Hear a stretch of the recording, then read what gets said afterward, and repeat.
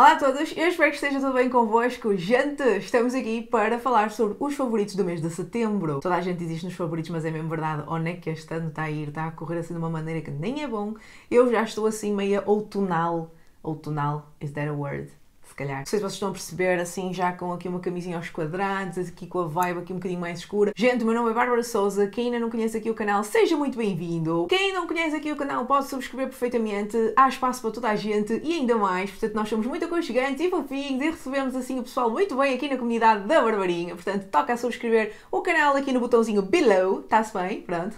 Vamos começar com esta cena que é para isto não ficar gajillion long.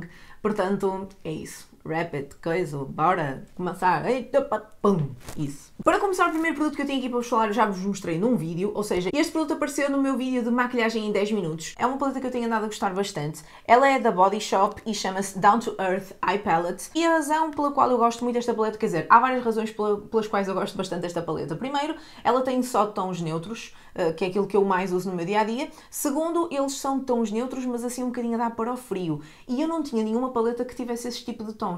Grande parte das minhas paletas são todas muito à base de opá, tons bastante mais quentes, também porque eu tenho assim os olhos verdinhos e acho que acaba por ficar muito bem. Sempre fugi um bocadinho deste tipo de paletas, mas opá, desde que tenho andado a usar esta tenho gostado imenso. Elas têm uma curiosidade engraçada, estas paletas, porque dá para tirar as sombrinhas e portanto vocês podem literalmente fazer uma paleta personalizada a partir das cores que eles têm lá e das sombras que eles têm lá. A textura das sombras é bastante cremosa, é bastante pigmentada, não é aquele tipo de sombras que às vezes eu também não curto aquelas sombras tão pigmentadas que vocês parecem que fazem assim uma ceninha e fica logo ali um borrão, porque aquilo depois para trabalhar às vezes também não é propriamente fácil. Mas esta paleta eu acho que tem um nível de pigmentação exatamente on point, literalmente. A, a seleção de cores é super bonita, mas lá está, como eu vos disse, vocês podem fazer uma vossa, vocês podem criar a vossa própria paleta, o que eu acho que é uma ideia sempre altamente. Tem um packaging assim pretinho, slick. Tem um espelho, ai! Tem um espelho.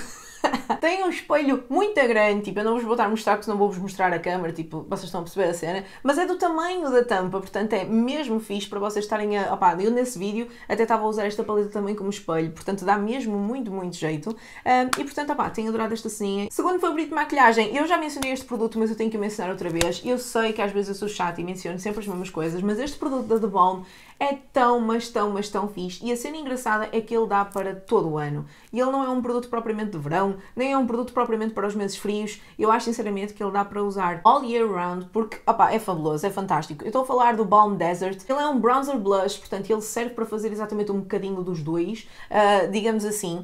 É esta cor assim bronzeada, mas que tem também assim um bocadinho de cor de rosa. Eu estou farta de falar deste produto, mas opá, eu não, não dá, porque há, há coisas que eu vou usando sempre, estão a ver? E cada vez que eu uso, apaixono outra vez. É o que eu estou a usar hoje na minha cara, mas estou a usar uh, misturado com outro bronzer também.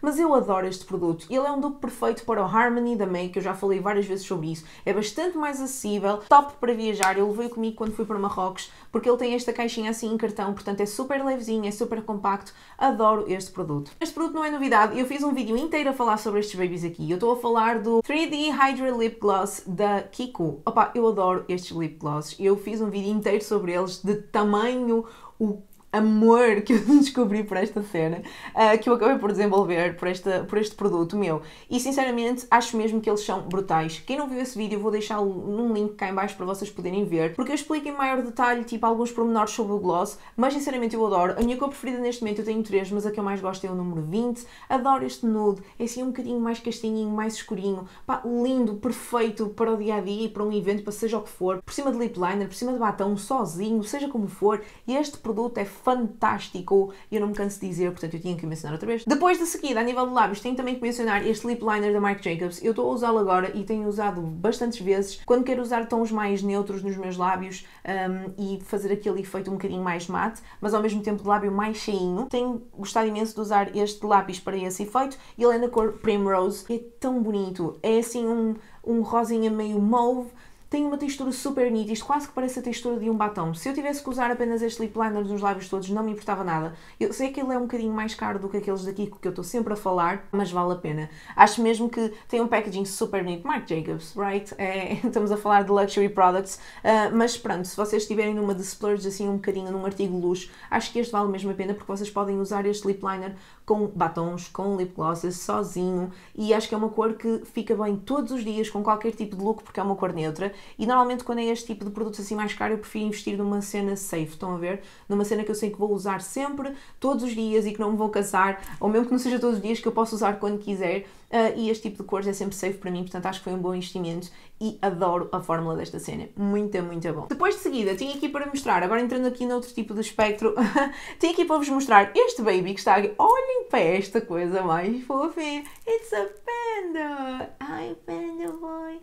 Basicamente é um stick para a zona ocular, ele tem esta corzinha aqui e isto basicamente é uma textura praticamente em gel, isto é completamente incolor, não tem cor nenhuma, tem um cheirinho maravilhoso, a sério, super fresquinho, super bom. É tipo um gel para vocês colocarem uh, aqui nesta zona, ok? E que vai suavizar um bocadinho as linhas que vocês têm e refrescar toda esta zona. E, portanto, ao refrescar, vai dar aquele efeito anti-fatiga, anti-cansaço. Uh, e, sinceramente, opa, eu tenho a adorar usar esta cena. E eu aplico antes de usar a maquilhagem, portanto, eu não ando com isto no dia-a-dia. -dia. Eu fiz a experiência de andar com isto no dia-a-dia, -dia, mas eu notei que ele movia um bocadinho, uh, fosse qual fosse a maquilhagem que eu tivesse aqui nesta zona. Portanto, eu não achei tanta piada a usar assim, então agora o que eu faço é quase usá-lo como um primer para a base que depois eu coloco de seguida.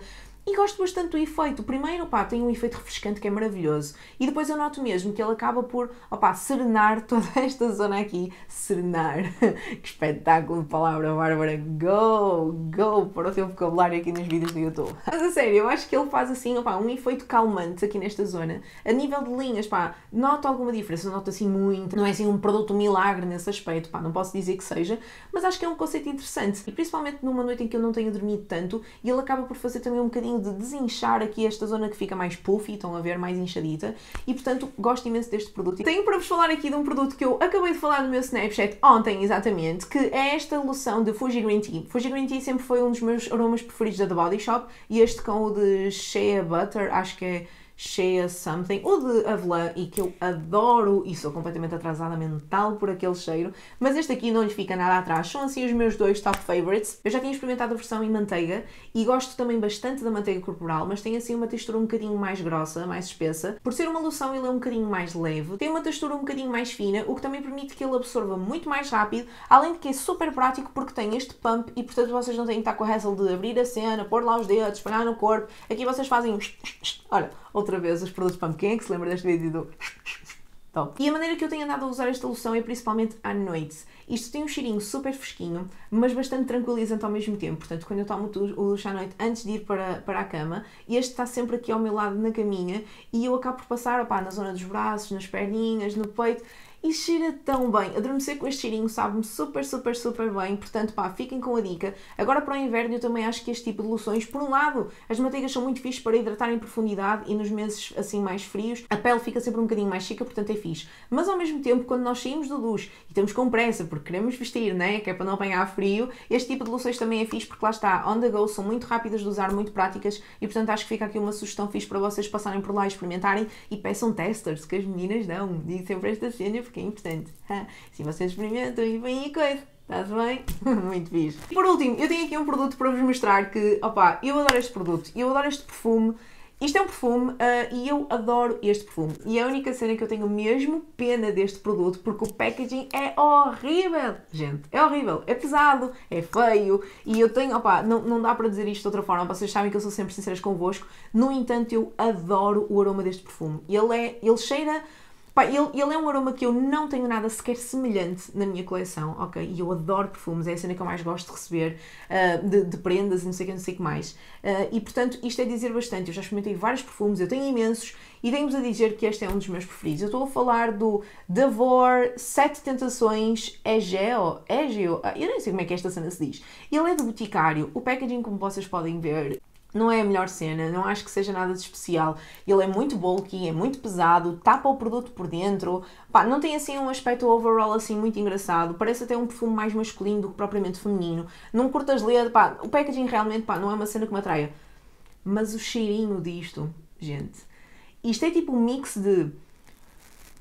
Opá, sei lá. É um aroma assim bastante sensual, estão a ver? Mistura um bocadinho de chocolate. Eu não sei se ele tem chocolate na composição, não faço a menor ideia mas a mim cheira-me de alguma forma a chocolate. Eu tenho que pôr um bocadinho, eu ainda não pus perfume hoje, portanto vou aproveitar.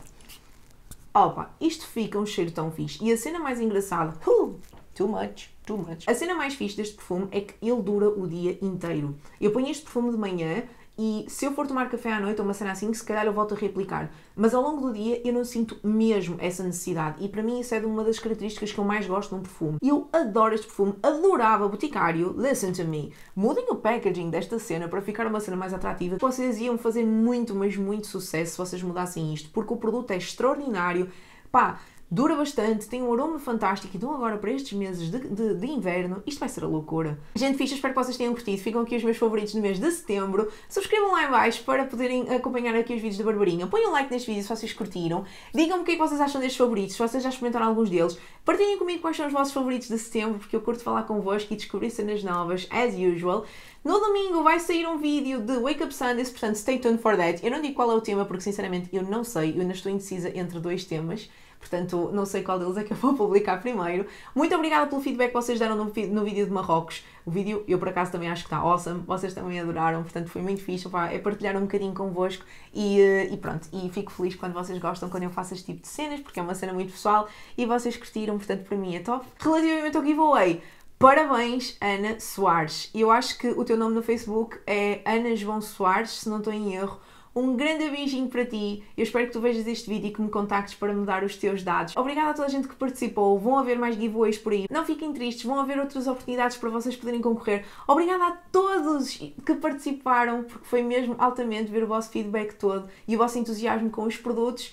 E pronto, acho que é só isto. Um grande beijinho para vocês. Vemos no domingo para um Wake Up Sundays e está-se bem. Está-se bem, gente. Tchau, tchau.